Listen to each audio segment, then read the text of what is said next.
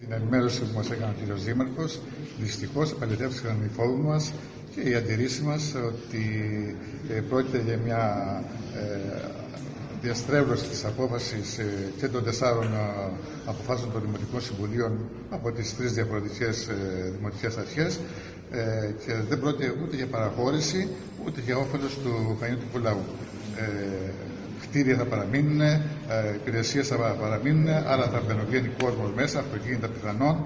Ε, καμία σχέση με, την ομόφωνη, με τις ομόφωνες αποφάσεις του Δημοτικού Συμβουλίου, με τα κινήματα και με τις συνειδητοποιήσεις που είχε κάνει ο Χανιώτικος Λαός, που προέβλεπε ότι ε, διεκδικούμε 100% την παραχώρηση της γεριότητα ε, του στρατοπέδου, χωρίς αντάλλαγμα, ε, και με, με δέσμευση χώρους πρασίνου και ένα μόνο σχολείο.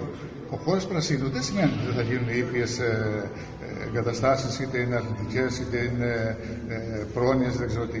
Αλλά δεν σημαίνει όμως, σημαίνει, δεν σημαίνει κτίρια τα οποία ο κ. Δήμαρχος λέει ότι θα παραμείνουν μέσα και θα δημιουργούν ε, ε, υπηρεσίες, δηλαδή διοικητικές υπηρεσίες που δεν έχει απόφαση να υπάρχει στο Δημοτικό Συμβουλίο. Θεωρούμε λοιπόν ότι ο κ. Δήμαρχος παραβίασε τις ομόφωνες αποφάσεις 10 μέρες μετά την ε, απόφαση του Δημοτικού Συμβουλίου.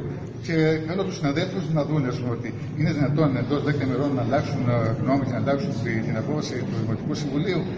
Εμείς θα ενημερώσουμε τον Καναδικό λαό ότι υπάρχει κίνδυνος να πληρώνει για να εισέρχεται μέσα στο στρατόπεδο να πληρώνει και τις υπηρεσίες είτε τις ε, ψυχαγωγικές είτε τις ε, ε, αθλητικές ή δεν ξέρω τις άλλες περιβαλλοντικέ.